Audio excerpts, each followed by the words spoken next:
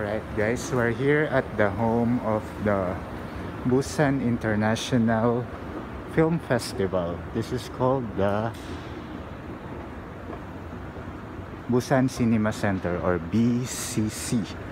It is home to the world's longest cantilever roof as certified by the Guinness Book of World Record here.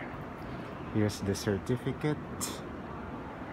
It's the roof and we're gonna go check it out.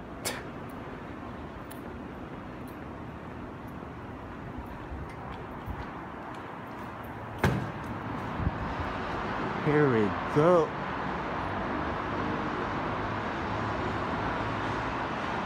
It's amazing, isn't it?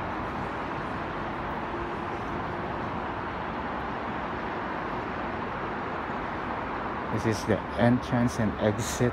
Looks like a tent for quarantine.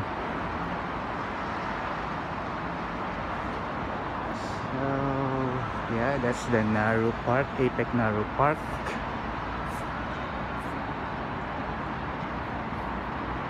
I heard that Lee Min Ho shot his uh, King Eternal Monarch drama here. So this is the outdoor cinema.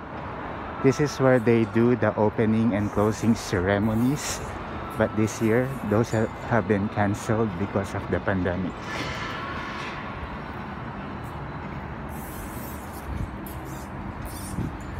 So now the volunteers are setting up for the screening tonight. Every day at 8 p.m. they have a screening.